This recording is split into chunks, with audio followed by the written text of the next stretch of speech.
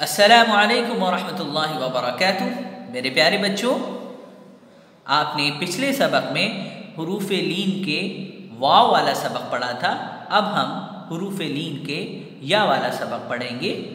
تو چلیے شروع کرتے ہیں۔ اعوذ باللہ من الشیطان الرجیم۔ بسم اللہ الرحمن الرحیم۔ حمزہ، یا، زبر، ای، با، یا زبر بئی تا، یا زبر تئی دیکھیے، یہ بہت لائٹ پڑا جا رہا ہے اور بالکل نہیں کھینچ رہا ہے۔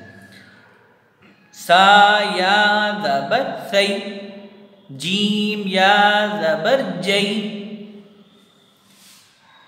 ح یا زبر حی خا، یا زبر خی دال، یا زبر دئی ذال، یا زبر زئی را يا ذبر ري زا يا ذبر زي سين يا ذبر سي شين يا ذبر شي صاد يا ذبر صي ضاد يا ذبر ضي طا يا ذبر طي ضا يا ذبر ضي عين يا ذبر عي غين يا ذبر غي فا يا ذبر في قاف يا ذبر قي کیف یا زبر کی لام یا زبر لی میم یا زبر می نون یا زبر نی واو یا زبر وی ہا یا زبر ہے حمزہ یا زبر ای یا یا زبر یئی